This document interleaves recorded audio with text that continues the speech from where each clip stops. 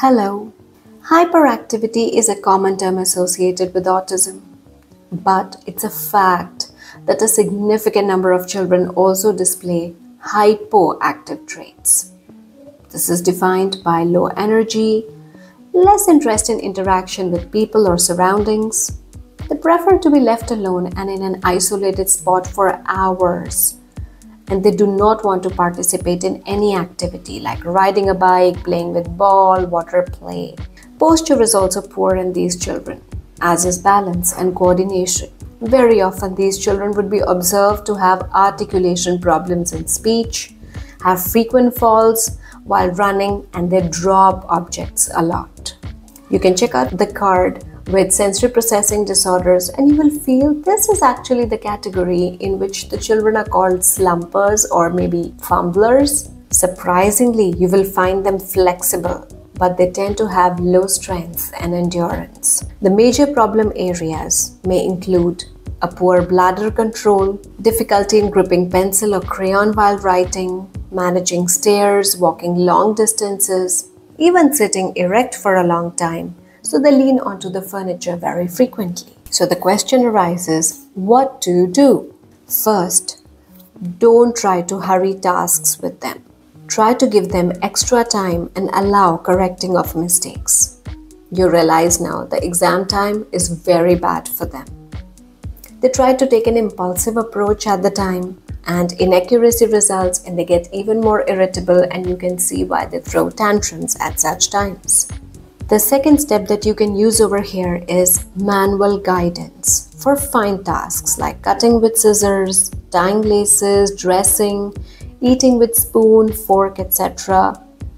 And eventually you can wean off the physical assistance. You can click the card to understand what are the different steps of learning and how you can progress through them Coordination training is very important for these children.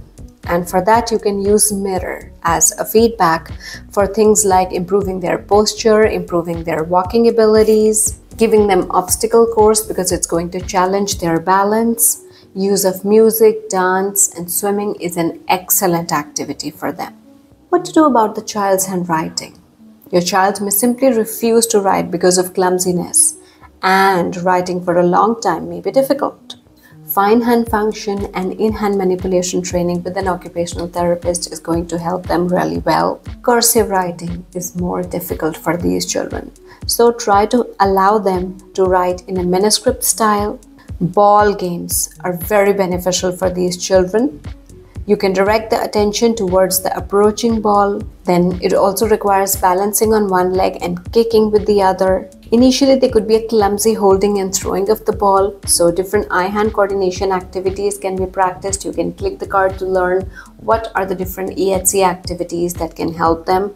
Deep pressure massages are really beneficial, giving it on hands and feet because it helps not only in providing tone to their muscles but also improves their sensory awareness with specific focus on toes and fingertips.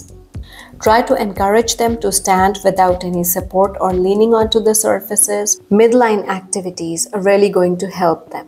Pushing, pulling, and carrying objects like toys or backpacks can also help. Some kind of unusual practices also help to challenge them, like maybe walking on their heels, walking on their toes, walking with one foot in front of the other, which is also called as tandem walking, backward walking, etc. Games like hopscotch are really beneficial for these kids because it challenges their balance. And obviously, never forget to transfer all these skills to their daily living skills, like first trying to help them to dress up in sitting position and later on progress to standing.